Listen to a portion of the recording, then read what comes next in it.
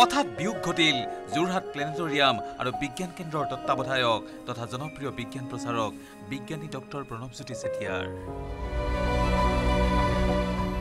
এই আকস্মিক মৃত্যুৱে শোকাহত কৰি তুলিছে বহুজনক। বিজ্ঞানৰ বিষয়সমূহ সাধাৰণ ভাষাত প্ৰচাৰ কৰি বিভিন্ন শ্ৰেণীৰ লোকৰ মাজত জনপ্ৰিয় হৈ পৰিছিল বিশিষ্ট বিজ্ঞানীগৰাকী। সংগীত তথা আন আন বিভিন্ন ৰুচিশীল অনুষ্ঠানৰ সৈতেও জড়িত আছিল ডক্টৰ চেতিয়া। প্ৰিন্স নামেৰে সৰবৰহী অমায়িক যুৱকজন আছিল এগৰাকী প্ৰচাৰ বিমুখ নীৰৱ সমাজকৰ্মী।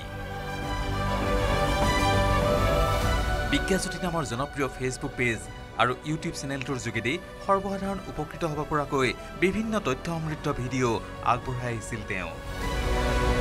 বৃহস্পতিবাৰে নিশা হঠাৎ গা বেয়া লগাত নিজেই চিকিৎসালয়লৈ আহি ৰক্তচাপ পৰীক্ষা কৰাৰ সময়তেই চিকিৎসালয়ত ঢলি পৰে আৰু তাৰ পিছতেই মৃত্যু ঘটে সৰবৰহী ব্যক্তিগৰাকীৰ। ডিব্ৰুগড়বাসী ৰাইজ সঁচাকৈ মৰ্মাহত হৈছোঁ। প্ৰণৱজ্যোতি চেতিয়াৰ মৃত্যুৰ বাতৰি বিয়পি পৰাৰ লগে লগে এই খবৰে শোকস্তব্ধ কৰি তুলিলে হাজাৰ হাজাৰ লোকক। ছ'চিয়েল মিডিয়াত বিভিন্ন লোকে বিশিষ্ট বিজ্ঞানী তথা বিজ্ঞান প্ৰচাৰকগৰাকীৰ প্ৰতি শ্ৰদ্ধাঞ্জলি জ্ঞাপন কৰি শোক প্ৰকাশ কৰিছে। সমাজৰ বিভিন্ন শ্ৰেণীৰ লোকৰ মাজত বিজ্ঞানক জনপ্ৰিয় কৰি তুলিবলৈ গ্ৰহণ কৰা পদক্ষেপসমূহৰ বাবে অতিকৈ জনপ্ৰিয় আছিল তেওঁ। ডেকা বয়সৰ পৰাই সম- সমাজৰ লগত সমাজৰ প্ৰতিটো শ্ৰেণীৰ লোকৰ লগত জড়িত আছিল।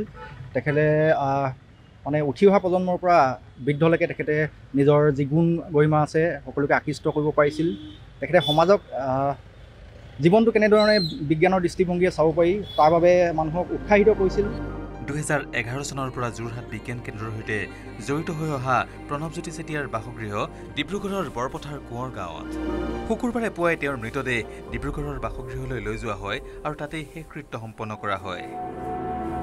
ডক্টৰ প্ৰণৱজ্যোতি চেতিয়াৰ মৃত্যুত এগৰাকী সৎ দক্ষ বিষয়াক হেৰুৱাই অসমৰ বিভিন্ন প্ৰান্তৰ লোকে প্ৰেৰণ কৰিছে শোকবাৰ্তা। ডক্টৰ চেতিয়াৰ মৃত্যু সমাজৰ বাবে এক অপূৰণীয় ক্ষতি বুলি সকলোৱে মন্তব্য কৰিছে। ডিব্ৰুগড়ৰ পৰা জেচিম আহমেদৰ সহযোগত যোৰহাটৰ পৰা Gautam Bora news eighteen Assam north east.